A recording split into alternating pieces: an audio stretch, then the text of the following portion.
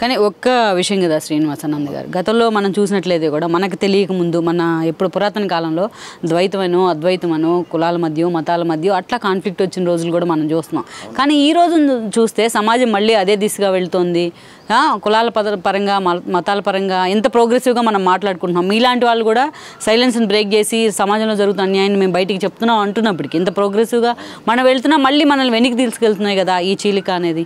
నిజమే మా వాస్తవం. ఇది ఇప్పుడు ఉండేటువంటి గురువుల తాలూకా లోపం అమ్మ. భగవంతుడు ఏంటంటే అన్ని రూపాల్లో ఉండేటటువంటి ఒక ఏకం సత్ విప్రహ బహుదా వదంతి. అంటే ఉండేటటువంటి భగవత్ స్వరూపం ఒకటే బంగారం ఒకటే వేదం చెప్పింది.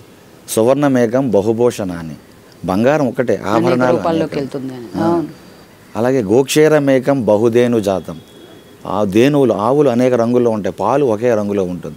మృతపిండమేకం బహుభాండ రూపం మట్టి ఒకటే పాత్రలు అనేకం. ఏకహ పరాత్మ భగవంతుడు కూడా ఒకడే బహుదేహ వర్తతి అనేక అవతారాలుగా వస్తూ ఉంటాడు. ఏ రూపంలో చూసినా అన్ని నామాలు నావే అన్నాడు ఆయన.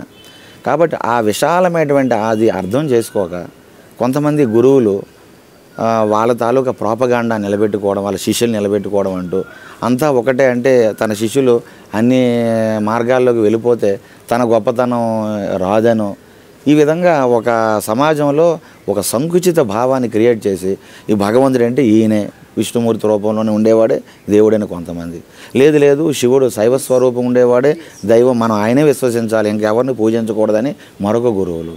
లేదు లేదు వీళ్ళిద్దరూ కాదు అసలు సృష్టికి ఆది మూలం శక్తి స్వరూపం అమ్మవారే. అమ్మవారు తప్ప ఇంకేమో ఏమీ లేదని మరికొంతమంది ఈ విధంగా సమాజాన్ని అయోమయ స్థితిలోకి తీసుకొస్తున్నారు. దేవుడి మీద భక్తి ఉన్న వాళ్ళు కూడా కన్ఫ్యూజ్ అవుతున్నారు. కన్ఫ్యూజ్ అవుతున్నారు.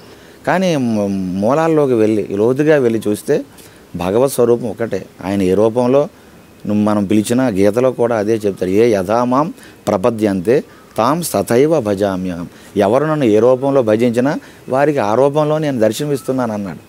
కాబట్టి ఇది అర్థం చేసుకోక ఇప్పటికి ఉండే గురువులు సమాజాన్ని మరికొద్దిగా ఇబ్బంది ఇంకా పెట్టేటువంటి డివైడ్ చేస్తున్నారు. చేసేది చాలా బాధాకరం అమ్మ మన మనకు ఉండేటువంటి జ్ఞానాన్ని సమాజానికి మంచిని పెంచాలి. మీకు నచ్చినట్లయితే please share like and subscribe R twenty Telugu